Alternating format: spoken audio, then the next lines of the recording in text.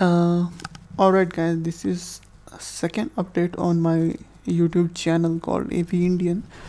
Uh, currently I'm I'm doing my live streams on Twitch and in the previous video you I just mentioned my Twitch username that is twitch.tv slash avikyu but today I changed the name so that it will I mean I change it to AV Indian so just little update on that.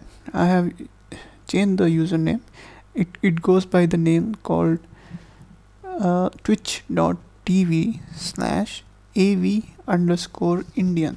So it's very simple same as in youtube. Just the thing is uh, there's a there's a there's a space between av and indian. I mean not space this underscore av underscore indian. So make sure if, if you guys want to watch some live streams of PUBG I mean I'm live right now in Twitch.